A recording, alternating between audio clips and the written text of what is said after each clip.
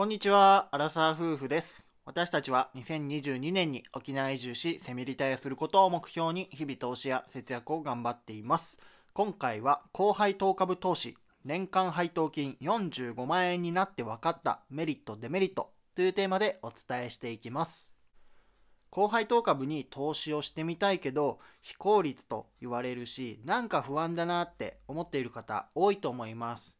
私たちはこれまで高配当株に投資を続けてきたおかげで年間の配当金が45万円になりました。そこでその中で感じた高配当株投資のメリットとデメリットをご紹介していこうと思います。これから高配当株投資にチャレンジしてみたいっていう方はですね、ぜひ最後までご視聴いただけたらと思います。基本的な高配当株投資のメリット、デメリットについては過去の動画でご紹介してますので、今回はですね、この年間の配当金が45万円とですね、徐々に増えてきた中で感じたメリット、デメリットについて、フォーカスを当ててご紹介していこうと思います。動画の前半では配当金のポートフォリオをですね、簡単にご紹介して、後半ではこのメリット、デメリットについてご紹介していきます。では早速ですが、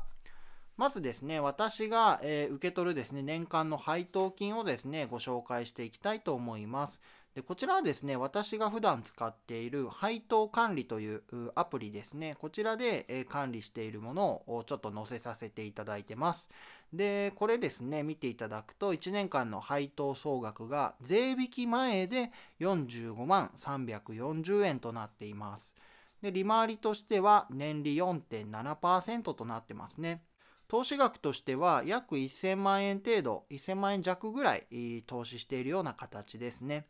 で、下にですね、配当ポートフォリオっていう形でですね、まあ、どの銘柄からどのぐらいの割合で配当金を受け取っているかがわかるようになっております。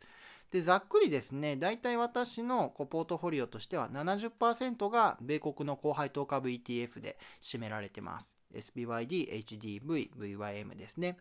で残りの30%は日本の高配当の個別株で、え、運用してますね。まあ、一部、米国の個別株も少し保有してますが、まあ、BDC 銘柄ですね、少し保有してますが、まあ、ざっくりこんな感じでポートフォリオを組んでますね。内訳を少し見ていくと、SPYD が41%とかなり大きな比率を占めていますね。えー、で、続いて HDV が22%。VYM が10%となってますね。今後はこの HDV と VYM のね、比率をもう少し高めていこうと、今、買い増しをしているところですね。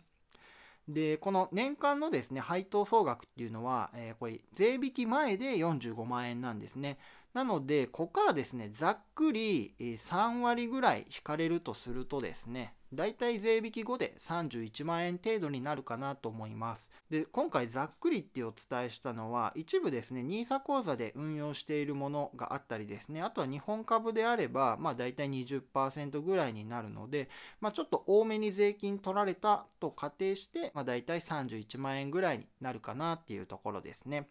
で、こちらが配当金のスケジュールですね。先ほどの同じアプリでですね、このスケジュールも管理することができるんですね。で、まあ見ていただくと分かるようにですね、3月、6月、9月、12月がかなり多くなってますね。もうむしろそれ以外は全然配当金がない状況になっているので、すごい偏っている感じですね。でまあこの偏りに関してはまあできればですねバランスよく毎月受け取れたらいいんですけど、まあ、そこまでこだわる必要はないのかなっていうふうに思ってますね無理してこう1月とか2月とかね他の月で配当金を出すような銘柄を購入するっていうのは今のところは考えてないですねやはりこの配当金ですね、いつにこうどれぐらいのお金が入るかっていうのが分かるので、スケジュールを立てやすいですよね。まあ、3月に配当金が10万円ぐらい入るから、まあ、このお金を使って旅行に行くとかですね、まあ、そういったふうにこうスケジュールも立てやすいのでやっぱりこう高配当株投資いいなっていうふうに僕自身は思ってますね。ではここからはですね実際に高配当株に約1000万円程度投資をして年間の配当金が45万円になったその中で感じたメリットデメリットをご紹介していこうと思います。まずメリットについては3つあります。1つ目が投資節約のモチベーションになるということですね。ま、これは本当に感じますね。やはりこうコツコツですね高配当株を購入していって、え、受け取れる配当金が増えていくと本当にですねこうどんどんどんどんこう増やしていこうっていうふうにモチベーションになるんですね。でこの高配当株投資をこうしているとですねよくまあ、している方はあのおっしゃることなんですけど例えば缶ジュースをコンビニで1本買うのに150円かかったと。でその150円の配当金を受け取るためには SPYD 何株保有しとかないとこの配当金としてはあもらえないんだっていうふうに考えるとですねどうしてもこう買うのをね、えー、やめてしまう。躊躇してしまうっていうことあの皆さん経験あると思うんですよね。まあ、これは高配当株をしている方はあるあるだと思うんですけどなのでまあ本当にねお金に対するこう価値観とかも変わってきますしあのお金の大事さっていうのを本当にね、えー、感じてきました。続いて2つ目は配当金生活の実感が湧くっていうことですね。まあ、これはどういったことかというと、まあ、高配当株投資を始めた頃っていうのはやはりこう受け取れる配当金の額っていうのがかなり少なかったんですね。もう本当にこう1000円とか、え、2000円とかもう1万円もいかない程度だったんですよ。でこの金額をですね受け取ったとしてもなかなかですねこの配当金を受け取った喜びっていうのは感じにくかったんですね。でそれをですね乗り越えてコツコツこう投資を続けていって投資額が増えていってそれに応じて配当金も増えていくとですねその配当金の額がある程度増えていくとあこれである程度生活できていくなっていうね実感が湧いてくるんですよ。これはですねやっぱりこの配当金の受け取れる額が増えてきたからこそ感じれるものだなっていうふうに感じました。高配当株投資を始めた頃はですね、やはりここまでですね、実感っていうのは感じにくかったです。あこのまま続けて本当に配当金で生活できるのかなっていうね、不安っていうのはやはり強かったですね。最後3つ目は収入の柱が増えた安心感ですね。まあ、これも本当に感じますね。まあ、これもですね、やはりこの配当金の額が増えていったことによって、あちゃんとですね、こう収入としてのこう柱ですよね。あのそれまでは本当にこう枝みたいな 感じ、あの木の枝みたいなこう細い配当金、まあ、1000円、2000円だったんですけど、それがですね、僕自身はだいたい10万円、20万円ぐらいから、あちゃんとこう柱になりつつあるなっていうのを感じてきてて、税引き後30万円を超えた時には、まあ、1ヶ月の生活費がだいたい30万円弱ぐらいなので、あ、1ヶ月配当金だけで生活できるっていうですね、まあ、そういった風に思うようになってからは、本当こう柱になった感じですね、えー、は、あの、しました。なので、配当金っていうね、収入の柱に対してですね、非常にこう安心感を感じているっていうのがあメリットですね。続いてデメリットに移りますが、デメリットはこちらですね。投資額が大きくなるにつれて、減配や税金の影響が大きくなるということですね。これまでそんなに投資額が大きくなかったので、減配がね、あったとしても、あの受け取れる配当金も知れている金額だったので、そんなに減配されても、あのその金額っていうのは大きくなかったんですよね。ただ、今後はですね、えー、まあ、今、1000万円ぐらいですね、えー、投資をしていて、まあ、受け取れる配当金が、まあ、税引き後30万円ですよね。で、これでまたですね、えー、去年のようにですね、SPYD がまた40%とか減配してしまったら、かなり影響を受けてしまうんですよね。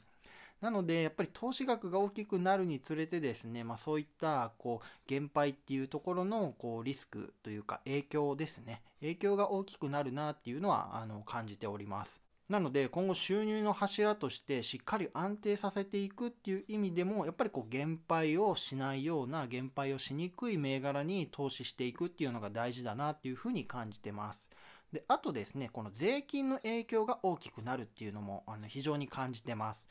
やはりこれまで受け取れる配当金も少なかったので、まあ30%ね、取られたとしても、そんなにですね、まあ仕方がないかなっていう感じで思ってたんですけど、まあ冒頭にね、お伝えしたように、45万円本来であれば受け取れる金額が31万円に減ってしまうっていうと、かなり大きいですよね。14万円も税金で取られるのかっていうふうにね、あの、思ってしまうわけですね。なので、この税金をですね、なんとか、こう、もう少し節税することができないかっていうことで、えー、ちょっとね、対策を考えてみました。それがこちらですね。対策としては3つ考えております。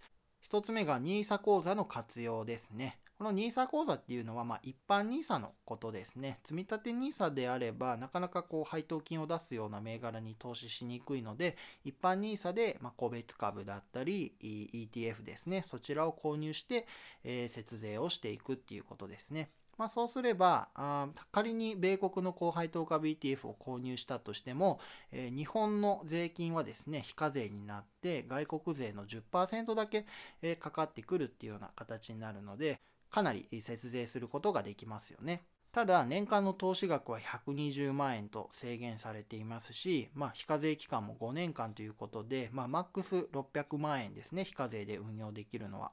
なので、まあ、これ以上ですね金額をもっともっと投資していきたいってなるとやはりこう特定口座で運用していかなければならないということですね